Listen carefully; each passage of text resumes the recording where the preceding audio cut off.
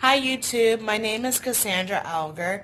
I am 28 years old and I am a proud single mom of a beautiful little girl named Mackenzie and she had just turned 7 years old December of 2018.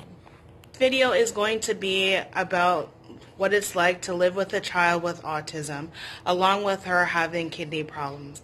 So let's jump into this video, why won't we? Life as a mother has blessed my life so far and continues to bless me with this beautiful little girl. Um, the first topic I would like to talk about is the time that she was actually diagnosed with the autism. Mackenzie was always a happy baby and a happily toddler and still up until now is still a very happy little girl. However, there was things that she was not doing. Um, by the time that she was four months old to six months old, she would have a serious face on when someone was trying to pl- play with her or a family member was trying to talk to her. Um, she was actually like made it look like she was just studying someone and just didn't have much face expressions. Some more examples that um, she was not doing examples. She was not talking. It was very delayed. When it came to her walking, she didn't start walking until closer to a year and a half, or at least starting to try. When it came to little things like her holding her bottle and using her utensils, it was closer to six to seven months old when she would start trying to grasp that that for her. But at these times, I was actually didn't really think much of it. I was like, okay, well, she'll actually learn these things in her own time and in time as well. So I just didn't really think much of it because me, myself as well, I'm a very slow learner. I learn better when I'm hands-on. So I thought it was basically the same thing for her.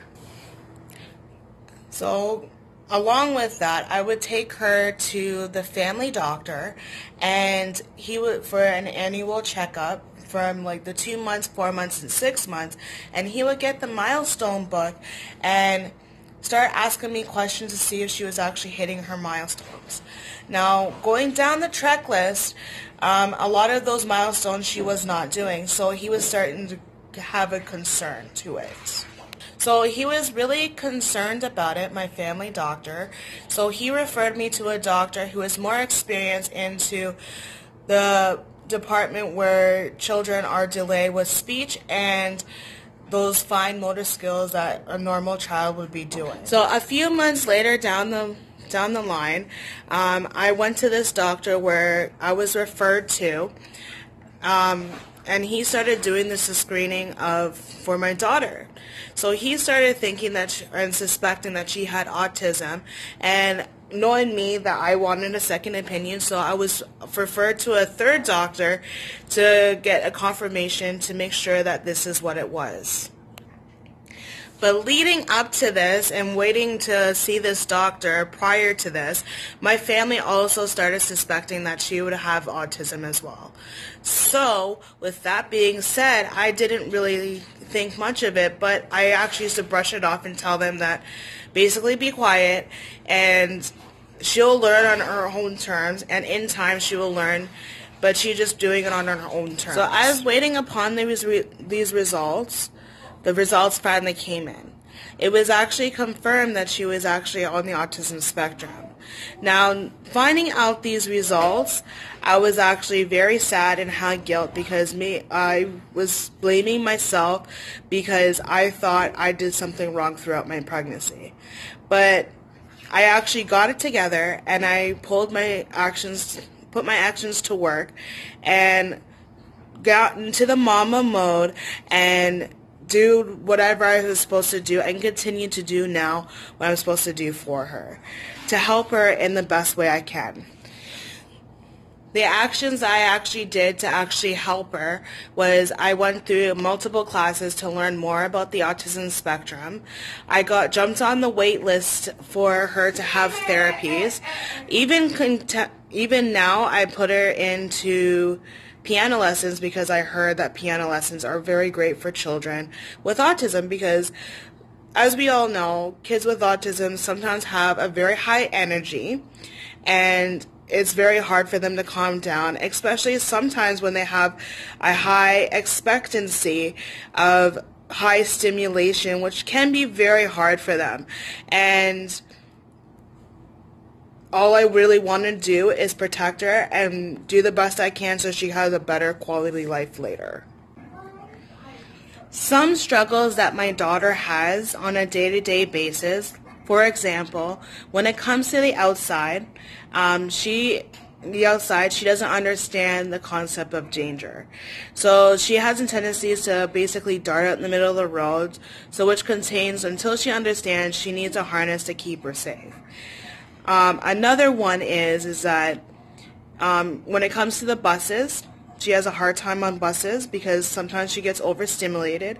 She has a timing where she can actually hug and kiss people, which is not very good because not a lot of people are friendly. Um, another one is when she travels the bus on the, the school bus, she needs a harness because she has tendencies to walk around. So with that being said, those are some struggles. Um, another struggle that she has is in the malls. Um, because there's so many people, she has a hard time grasping that and sometimes has a hard time with that as well. So she has a meltdown in the middle of the store at times. Another struggle that I actually um, forgot to mention that my daughter has is that when she hears sudden loud noises, it's very too much for her and it actually scares her. So when she hears an over loud of music example, sometimes those are too sharp for her ears and it's too hard for her. So she has a meltdown with that as well. When it comes to sirens on the bus, like sirens when the the ambulance or fire trucks, sometimes that's too loud for her as well and she her ears are very sensitive in that sense. It's basically just a sensory overload at times there's a lot more struggles that she has, but those are just a little bit of struggles that she has on the day-to-day basis that I wanted to share with you guys. Oh, please. But over overall, she is an amazing little girl. She continues to stride for the best, and that's what I wanted to share with you guys as my first topic. The second topic that I would like to talk to you about is when she was diagnosed with the nephrotic syndrome. Mackenzie was diagnosed with the nephrotic syndrome five months after she was diagnosed with the autism. She was diagnosed um, the week week leading up to Thanksgiving weekend of 2013 in October. This particular week leading up to Thanksgiving weekend, Mackenzie was actually sick with a common cold. Well, at least what I thought was a common cold, um, for a while. Um, she would actually have a high fever, and I would help her break it, but then a few hours later, leading up to the high fever again. So with that being said, that was pretty scary, but I still continued doing the home remedies to try to break the cold. No matter what I did, this cold just kept holding on dear life, so I didn't know what to do. So I got scared so and took her to the family doctor to get her assessed and to get help that she needed. But I started to notice that she was swelling up more and I still was kind of was still continuing to be concerned. So two days later, after the Thanksgiving weekend, I took her back to my family doctor to have him look at take another look at her. When he took another look at her, he was actually brought some concerns and was very concerned about it. So with that being said, he looked at her and said, well, this is actually edema, and which means that edema is fluid on the legs and sometimes the whole body. Also, leading up to, before I brought her back to the doctors, at this particular time she was actually still in diapers.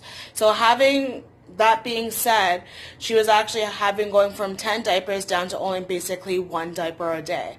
So that was actually a lot more concerning to, to that. So fast forward back to it now, two days after, I did bring her to my family doctor and he re-looked at her and said that this edema, this is edema.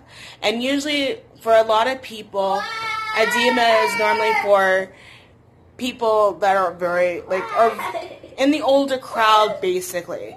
So he told me to get her to sick kids because this looks like a sign of kidney problems. Now, knowing me, I'm a mom and all I want to do is protect her and do what's right for her. So I was scared and I had a breakdown. Like, I bawled like a baby. My daughter showed me that she's stronger than me.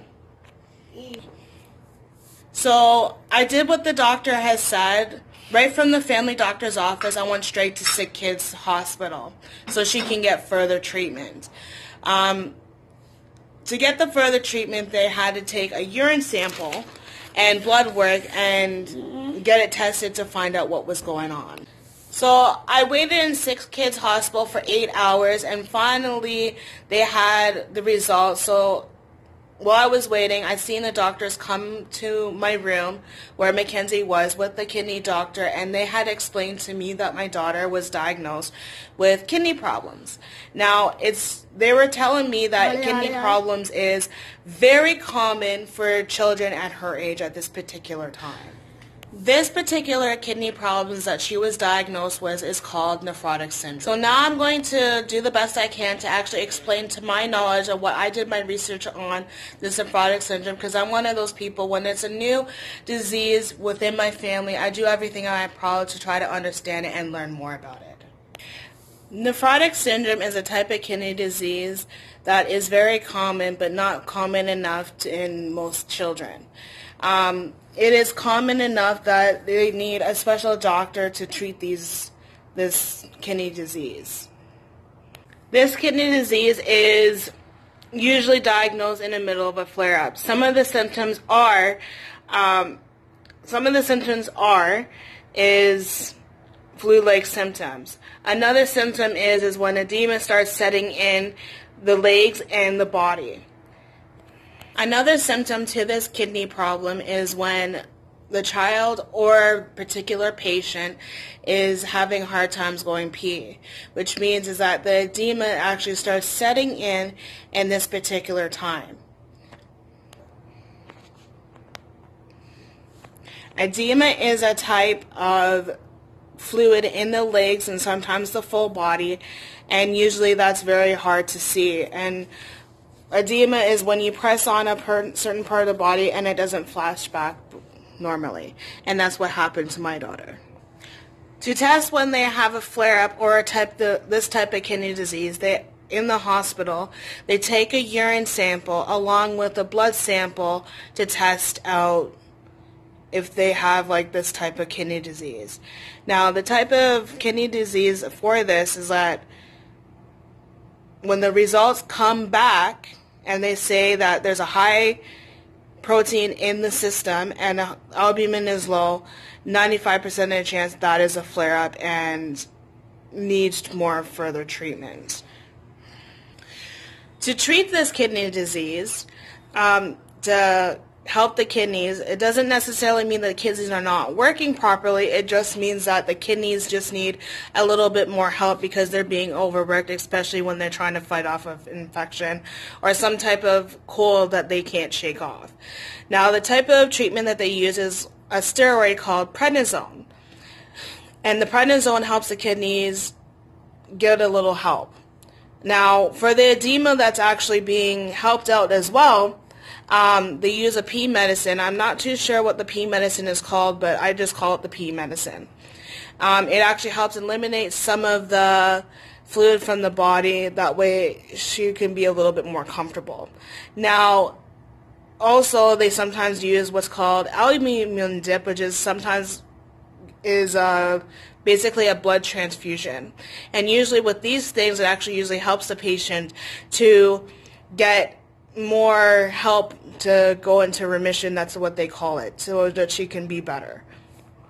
Now, some kids that are diagnosed with this can be anywhere from four months to six months and who are born with it. In my daughter's case, she was actually diagnosed when she was closer to three years old. Now, since this, like from her being diagnosed, she had six flare-ups where we actually had to spend a lot of time at sick kids now that she's actually a little bit older, every single time that she has a common cold or a cold that lasts a very long time, I start getting really nervous thinking that it could be potentially that her kidneys are might be affected. So when she does those things with the autism part of kissing people, I get really nervous because I don't know if that other person is um, had sick of with a virus or thing that could be passed down because now my daughter has this kidney problem. Her and over time, her immune system is very low, so she's very easy to get sick at this point. And me as a mom, when she is sick, we all all parents don't like seeing our kids sick.